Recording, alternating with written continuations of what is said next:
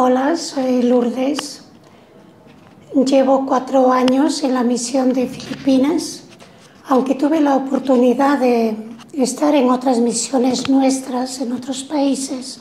Ahora me encuentro ahí en Baseco compartiendo mi fe con nuestros hermanos. Yo puedo decir que mi misión ahora con ellos pues es una misión de presencia.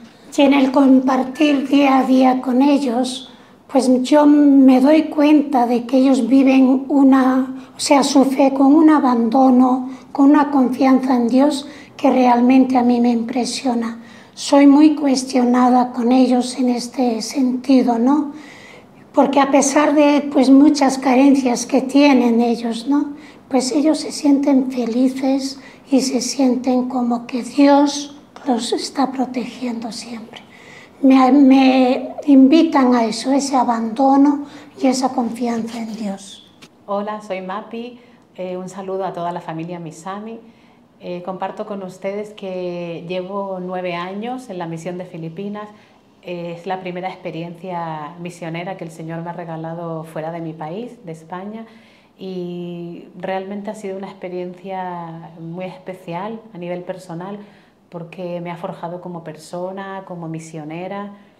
Mm, he descubierto pues, una manera nueva y real ¿no? de vivir la misión para mí la misión era un concepto muy teórico, pues de, hacer, de proyectar, de, mm, en fin, de, pues de cumplir un poco sueños que a lo mejor no se ajustaban al mundo real, ¿no?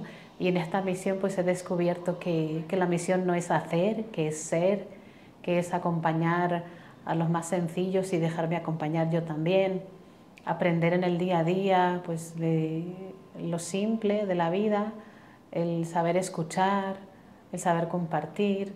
Y bueno, pues realmente me quedo con, con ese mensaje de que, de que ser misión es mucho más sencillo de lo que pensamos, que el Señor nos llama a, compartir la alegría del Evangelio y, bueno, pues que estoy dispuesta a seguir sirviéndole donde Él me envíe y bueno, especialmente con nuestros hermanos más pobres.